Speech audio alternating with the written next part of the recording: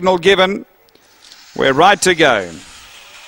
This is race five. They're ready to run and away. And Callista Bale left well down toward the inside. It's going to hunt through and lead and get away. It's out by two and a half. Goldie Arcade and then came Taylor's Puzzle. They were followed by Daniels Bob and then Regal Killer Lake Burley. Right out the back, Danaries and Matahina Pearl. Up front, Goldie Arcade dashed through to take the lead from Callista Bale and then came Taylor's Puzzle. But Goldie Arcade stretching away and the late mail gets in. Goldie Arcade first. I think Taylor's Puzzle might grab second just from Callista Bale and then Daniels Bob from Lake Burley. Uh, then is and Matahina Pearl. 24 and 44 is the run.